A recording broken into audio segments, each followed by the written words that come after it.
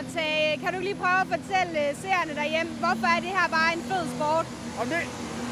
Øh, åh.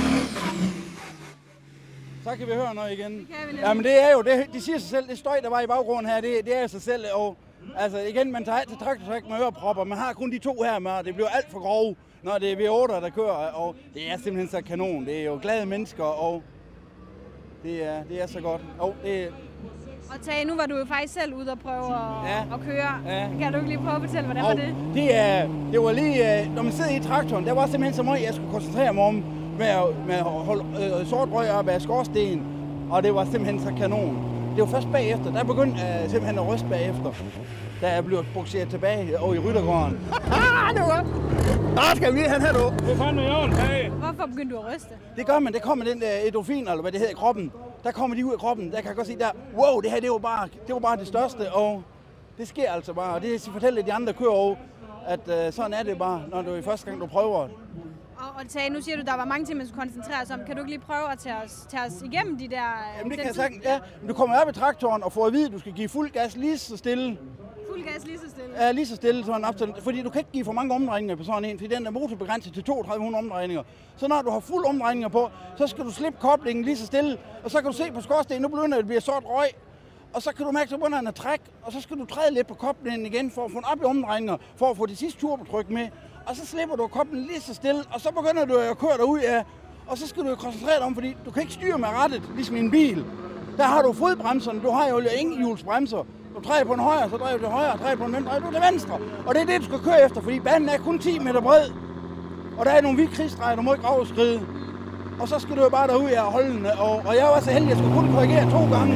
Og så lige lidt til sidst der på de sidste 5 meter eller sådan noget. Og det var kanon. Og fuld fuld. Det kan ikke være bedre.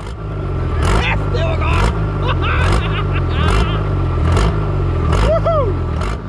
overhovedet kontrol over noget som helst deroppe? Ja, det har du. Jo, oh, det har du, fordi der er også en sikkerhed i det. Ham, der ser om på slæden, hvis der går noget, der går for voldsomt til, så kan han hive i et nødstop, så det ikke bare stikker helt vildt og tovlet afsted.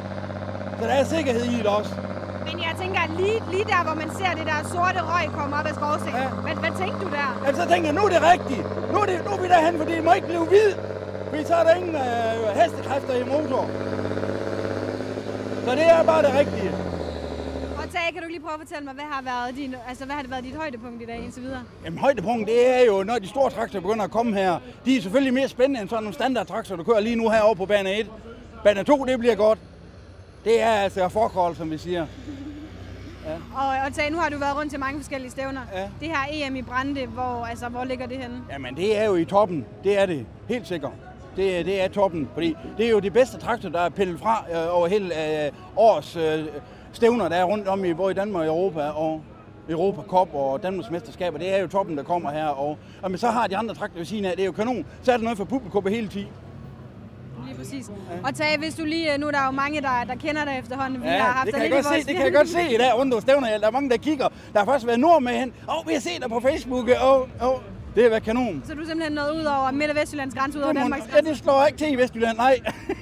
Og Tage, nu, øh, nu sender vi jo live, vi har Ja. gjort det i noget tid efterhånden. Ja, ja. Har du nogle ting, du gerne vil sige, sige til dem, der sidder Jamen, derhjemme og jeg, kigger? jamen, jeg vil gerne sige tak til, øh, til traktorteamet, at de lå mig øh, prøve at køre, og det har været kanon oplevelse. Det, det skal vi, og nu skal de jo køre i morgen. Der er selvfølgelig med os, også, så jo, det har været kanon. Og tak til alle dem, der har bakket mig op.